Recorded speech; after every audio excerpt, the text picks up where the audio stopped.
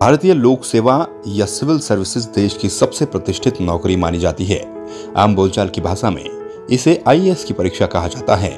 एक समय यह माना जाता था कि समाज के केवल कुलीन वर्ग के लोग ही इस सेवा में आ सकते हैं, लेकिन समय के साथ साथ समाज के हर वर्ग के लोग इस सेवा में आ रहे हैं। इस परीक्षा में हर साल लाखों नौजवान जी तोड़ मेहनत करते हैं। वहीं इस परीक्षा में कामयाबी हासिल करना आसान नहीं है। जो लोग इस परीक्षा में सफल हुए उनकी सफलता के पीछे उनकी निरंतर कड़ी मेहनत और कुशल लेखन का महत्वपूर्ण योगदान है।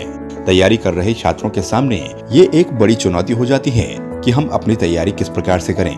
इस परीक्षा में रणनीति के साथ साथ सफलता प्राप्त करने के लिए ब्यूरोक्रेट्स आईएएस अकादमी छात्रों का सफल मार्गदर्शन कर रही है।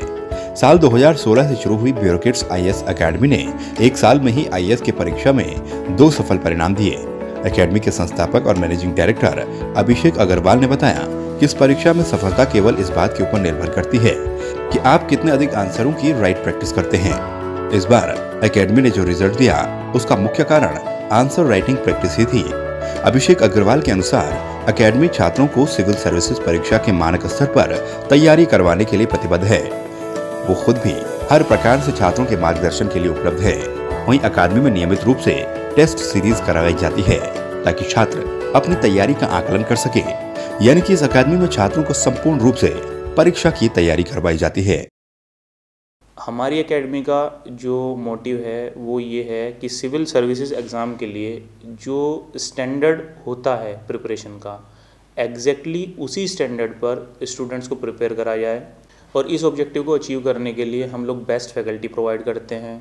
स्टूडेंट्स के सभी डाउट्स को क्लियर करते हैं और साथ साथ उन्हें answer writing practice MCQ practice और टेस्ट सीरीज़ कराते हैं। मैं जम्मू एंड कश्मीर से हूँ और हम लोग स्पेशली यहाँ पे आईएएस की ट्रेनिंग लेने के लिए ब्यूरोक्रेट्स आईएएस में आए हैं। यहाँ का जो कोचिंग सिस्टम है वो काफ़ी अच्छा है। सर बहुत कॉपरेटिव है। टेस्ट सीरीज़ कंटिन्यूस होती है। क्लैरिटी बहुत अच्छी है। आपको डीपली एनालाइज करवाया जाता है। किसी चीज़ का प्रेशर नहीं है। स्लोली एंड स्टडली आपको हर चीज़ समझाई जाती है। बहुत कॉपरेटिव स्टाफ है। संवाद थ्री सिक्स के लिए देहरादून से कैमरामैन दिनेश कुमार के साथ किशोर रावत की रिपोर्ट।